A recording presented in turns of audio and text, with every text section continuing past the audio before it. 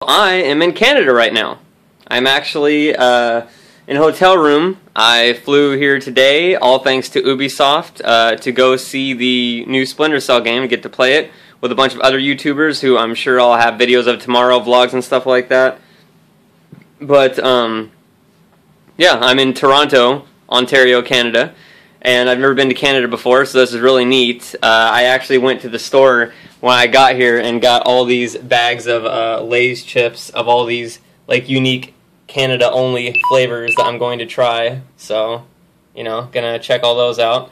But um, I'm gonna do videos of me trying them, of course. And then, of course, like I said, there's gonna be a bunch of vlogs of everybody and stuff like that. You know, um, I wanted to show you the the bathrooms all like all mm, fancy and stuff like that. So, anyways, um, that's about all I had to say. Uh, gonna do a bunch of vlogs and stuff like that. Hopefully, have some neat stuff going on. We're thinking about doing like a viewer meetup that uh, everybody could come to. I don't know if that would be Monday night or Tuesday night. I'm leaving Wednesday night. Uh, I don't know if it's to happen at all, but that's something we wanted to try and do with all the other YouTubers and so forth.